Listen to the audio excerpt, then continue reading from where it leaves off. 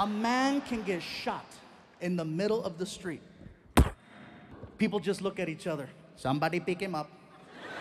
Nothing stops the flow of traffic in India except a cow.